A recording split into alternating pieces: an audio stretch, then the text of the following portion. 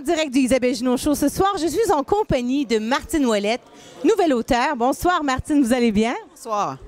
C'est quand même quelque chose de sortir. Est-ce que c'est votre premier livre? Premier livre. J'ai vraiment fière. Donc, euh, un livre sur, comme je, me, fais de la politique et j'ai été ministre des Ressources naturelles et j'ai travaillé pendant une vingtaine d'années chez Hydro-Québec, un livre sur le rôle de l'État, mieux d'État, parce qu'il y a tout un discours actuellement qui dit qu'il faut avoir moins d'État, couper l'État. Et ça, je pense que c'est un discours qui nous appauvrit collectivement.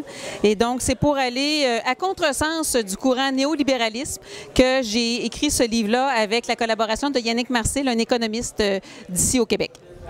Alors, c'est quand même un projet d'envergure avant les élections, parce que c'est quand même le dossier du Canada, les élections du Parti québécois. Vous êtes tiré à la fine pointe vos faits et gestes. Alors ce soir, nous sommes vraiment, vraiment surprises que vous nous sortez ce recueil parce que c'est votre histoire. Expliquez-moi exactement quels sont vos prochains défis pour gagner cette course au Parti québécois. Bien, en fait, je pense que ça va être le choix des membres du Parti québécois.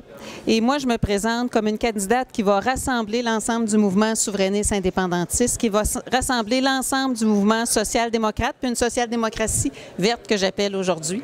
Et euh, il reste encore un bon trois semaines avant le premier tour de vote. Et euh, selon nos informations, il y aura un deuxième tour de vote. Et donc, à ce moment-là, tout est possible. Il y a eu beaucoup d'écho hein, au niveau du marketing du Québec, des médias. Euh, de la Fédération des journalistes. les gens ne savent pas où donner de la tête. Mais je pense que vous savez où le Québec doit aller, n'est-ce pas?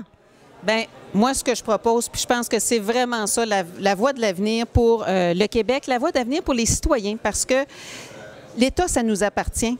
Et donc, c'est de euh, recentrer le Parti québécois sur l'indépendance du Québec parce qu'avec le contexte de mondialisation, de globalisation qu'on a, si on n'a pas notre voix dans les forums internationaux, ben c'est pas le Québec qui parle, c'est le Canada. Et le Canada a une vision très différente de celle du Québec. Et on ne sera pas plus mauvais voisin, mais on a besoin d'exprimer notre propre vision à l'international, tant pour notre développement économique que pour l'expression de nos valeurs.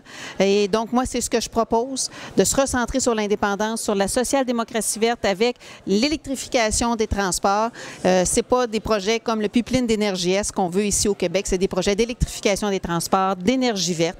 Et euh, c'est ça notre avenir. Comment euh, convaincre les gens à la maison d'aller voter? Monsieur, Madame, tout le monde est pris à la gorge.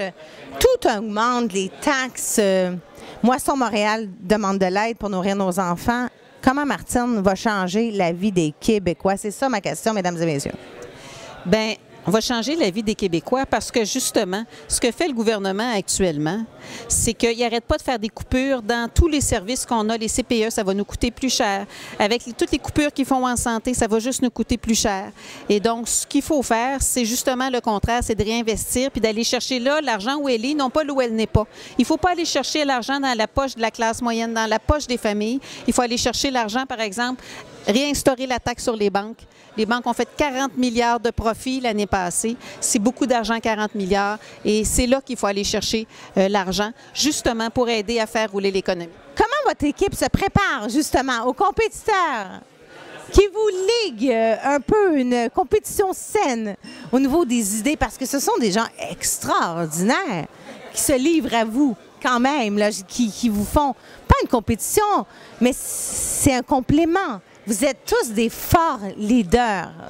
Vous avez une expérience, tous de professionnels, mais vous êtes la seule femme. Et après, la, la, fibre, Madame Marois, qui a tellement été tassée par l'opinion publique. Qu'est-ce que vous ressentez? Ben, vous savez, il y en a pas mal d'hommes qui ont été tassés par l'opinion publique aussi, pas mal pire, et qui ont fait, euh, euh, je crois, euh, des, qui ont pris des décisions vraiment qui n'avaient pas d'allure et ça n'a pas empêché d'autres hommes d'être réélus. Moi, je pense que c'est important qu'il y ait plus de femmes en politique et je pense que ça serait tout un avantage que le Québec ait une deuxième femme première ministre. Je pense qu'on a une approche qui est plus conciliante, qui est plus pragmatique, généralement. Et euh, je pense que c'est de ça qu'on a besoin maintenant en politique. Vous avez fait beaucoup d'études aussi, vous êtes ingénieur et tout.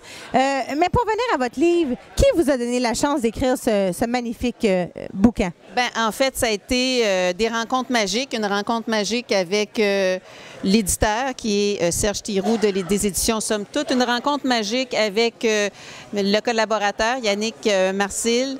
Donc, c'est toutes sortes de rencontres comme ça qui ont fait que la production de ce livre-là. Moi, j'ai été surprise quand j'ai reçu ce courriel. Honnêtement, Martine, je suis franche avec toi, je suis très euh, reculée euh, par rapport euh, à cette... moi, je trouve que c'est une compétition.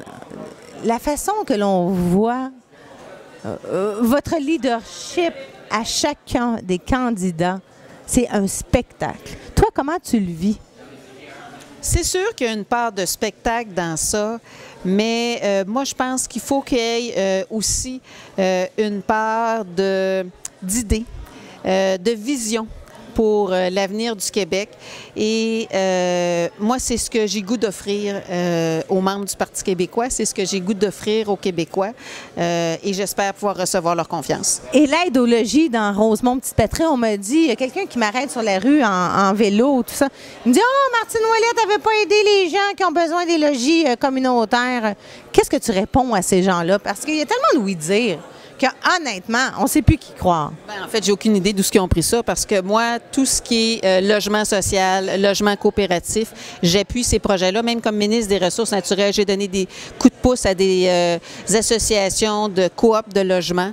Et euh, je pense que justement, on doit en construire plus des logements sociaux, que ce soit sous forme d'OBNL, de coop ou de logements sociaux.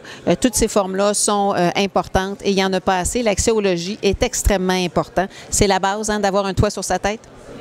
Et de manger. Alors, c'était une rencontre euh, très exclusive. Je suis très choyée. Merci beaucoup, Martine Ouellette.